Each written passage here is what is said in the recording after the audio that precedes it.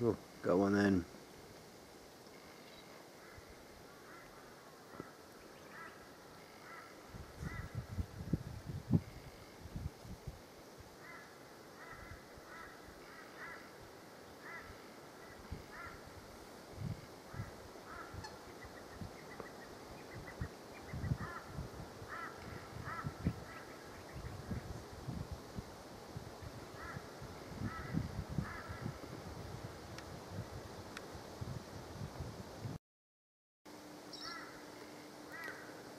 This is August the 3rd.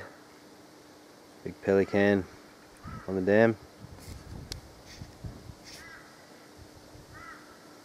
He's been having a great feast.